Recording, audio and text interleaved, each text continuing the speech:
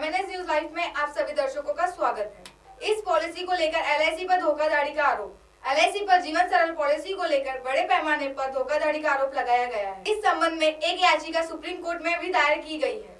कटे फटे नोट को लेकर आरबीआई की नई गाइडलाइन आरबीआई की नई गाइडलाइन के मुताबिक अब कटे फटे नोट लेने से इनकार करने या छोटे नोट देने पर बैंक की उस शाखा के ऊपर पाँच लाख रुपए का जुर्माना लगाया जाएगा। अब नीरव मोदी को इतने करोड़ जमा करने होंगे। नीरव मोदी और उसके सहयोगियों को पंजाब नेशनल बैंक को बैच के साथ तिहत्तर हज़ार करोड़ रुपए की राशि चुकाने को कहा है। M N S news live की खबरें देखने के लिए आज ही प्ले स्टोर से एस हिंदी ऐप डाउनलोड कीजिए और चैनल को सब्सक्राइब कीजिए। साथ ही बेलाइकन को प्रेस कीजिए। धन्यवाद।